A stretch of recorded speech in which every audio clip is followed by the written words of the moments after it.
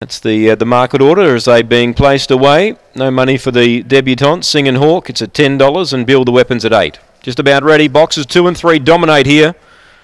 Here comes the lure, set to run.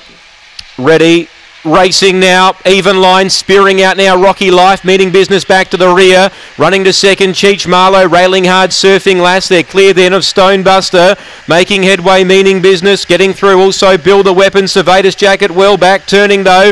Leader is still Rocky Life. Cheech Marlowe's after it, but Rocky Life defeats Cheech Marlowe. Third surfing last. Fourth build a weapon. They got away from Stonebuster, meaning business missed the kick. Servatus jacket and Singing Hawk towards the rear. We stand by for the time. There it is. It looks like 1888. Number three will get it. Rocky Life. Too much speed. Holds on to beat Cheech Marlowe.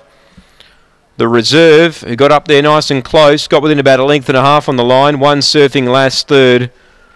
Railing hard and six build the weapons made some headway into fourth.